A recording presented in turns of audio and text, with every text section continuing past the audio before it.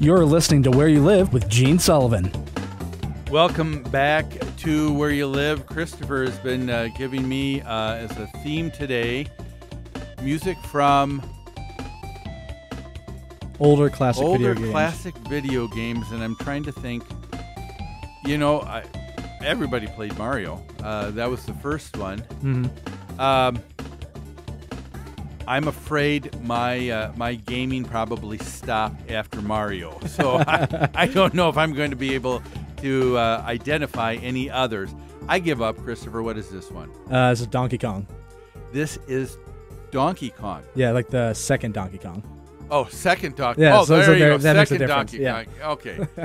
well, welcome back uh, to uh, where you live, folks. Uh, before we get back into our story about FHA, who is uh, putting on new rules that are going to uh, really affect homeowner associations. We're talking about uh, they have their sights on the transfer fee. But before we get back uh, to that, I'd like to let you know we've got a free gift for you. We put together a bi monthly newsletter called What's New. A lot of what we talk about on the show, we talk in further detail. People we have on the show are contributors to that newsletter. You'll have a list of uh, free webinars that we uh, put on, and you can see uh, from the convenience of your home at your computer on uh, how to live in an HOA, uh, what are the roles of the board, uh, what do you need to know when it comes to homeowner insurance. A lot of great information. We've got over 23,000 subscribers. It's growing. People say it's a great resource. It's yours free for the asking. Give us a call at New Concepts at 952 922 2500. Ask for Lori. She'll make sure that you start receiving your copy either electronically or by mail. Now, uh, FHA, as I said, seems to have a problem with the transfer fee. And the transfer fee, again, is when a person is going to be required to pay typically one to two months of what their normal uh, monthly association fee is, in addition at the closing, and that money goes into the capital replacement fund for the homeowner association. Now, as we were talking in that last segment, we went through a long, long list, and I didn't even go through all of the fees that are uh, there uh, that a buyer must uh, pay attention to and pay before they get their first home. There's the origination fee, appraisal, abstract, lenders, recording. Uh, it just goes on and on. And so FHA is saying, you know what? We just think there are too many fees, so enough is enough and uh, they also don't have a understanding of the uh, homeowner association industry. One of the other chief reasons why FHA is stating that they are against this transfer fee is they believe that it's just going to line the pockets and enrich the developers who are building uh, homeowner associations uh, you know, when the HOA is first established, who uh, who is the homeowners association? Well, the homeowner association is all of the people that own that property. Well, to begin with, who owns the property? The developer, and the developer only. And so I can so FHA is thinking, well, if the developer owns the property, this is going into their pockets. But that's not true. It gets set aside.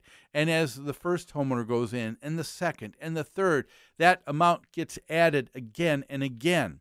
Now, all of a sudden, there are monthly uh, assessments being made to the homeowners living there, and they're paying a monthly assessment. And part of that fee is going in to keep growing this capital replacement fund. Why? Because years down the road, it's got to replace, it's got to be enough money to replace the roof, to replace siding, to uh, take care of replacement of asphalt, and so many other areas.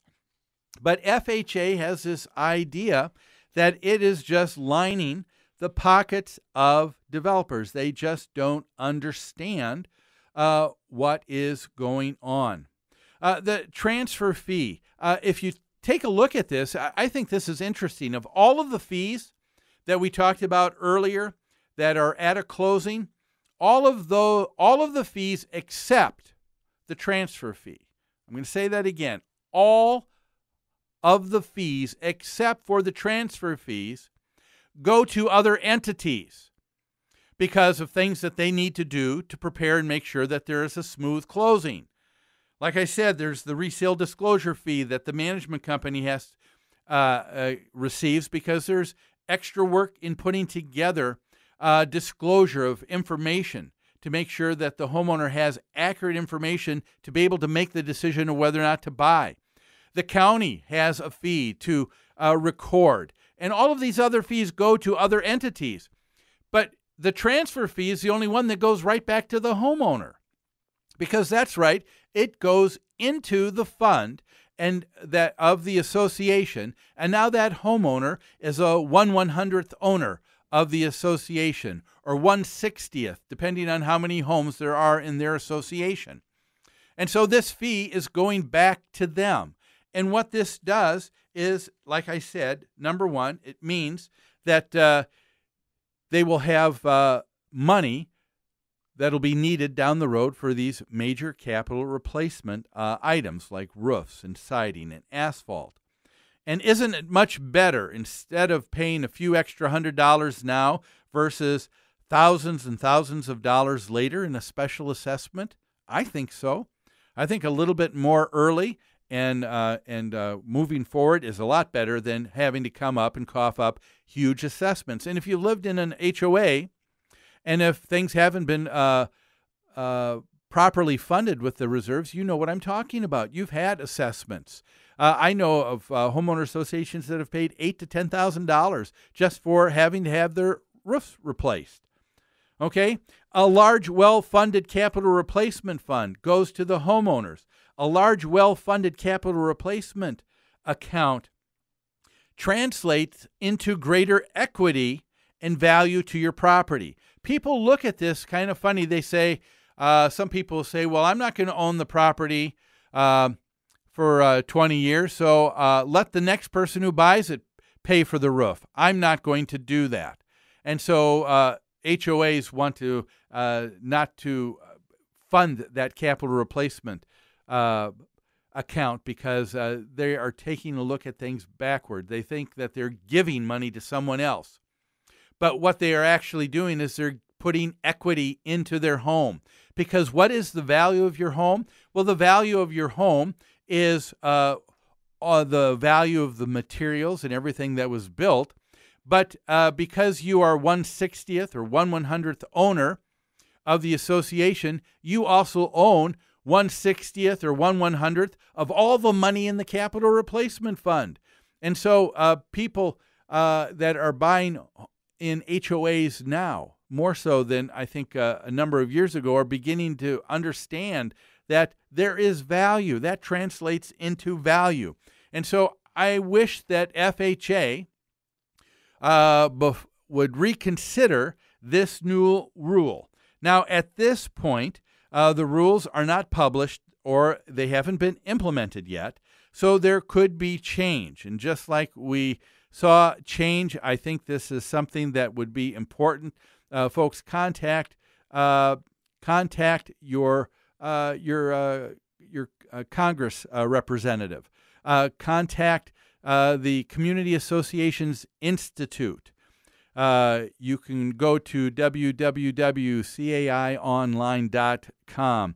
Uh, we have a Minnesota chapter and a national chapter. They're working hard to fight and kind of push back and try to give some uh, additional information and a little bit more knowledge to be able to uh, help FHA in some of their efforts. Some of the rules that they've put in place in past make sense. This one, not so much.